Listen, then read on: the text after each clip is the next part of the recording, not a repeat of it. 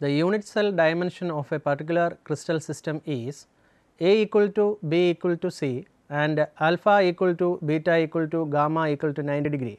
Identify the crystal system. Answer is cubic.